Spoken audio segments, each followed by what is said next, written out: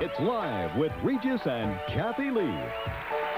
Find out why they're the hosts who've got it all. Talk about hot.